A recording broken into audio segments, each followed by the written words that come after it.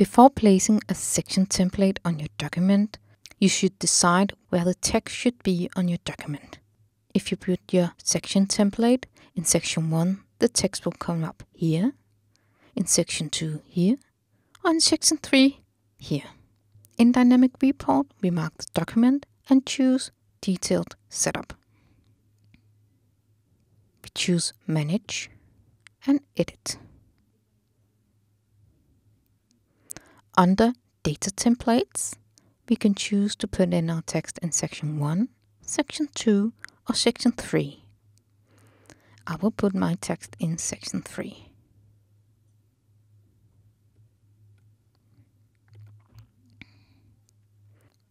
I also have the option to choose the text alignment in the sections. You can choose from left, center or right.